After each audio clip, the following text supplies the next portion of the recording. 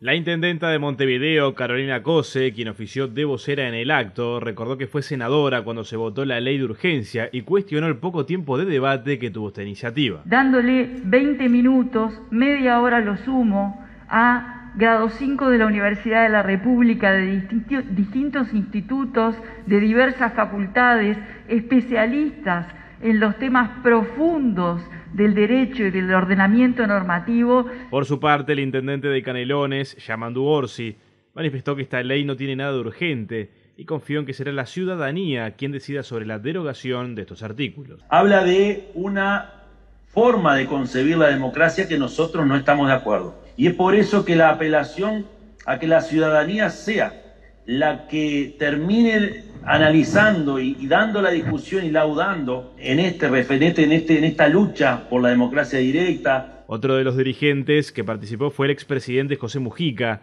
y advirtió sobre los peligros que puede tener esta ley a futuro para la sociedad.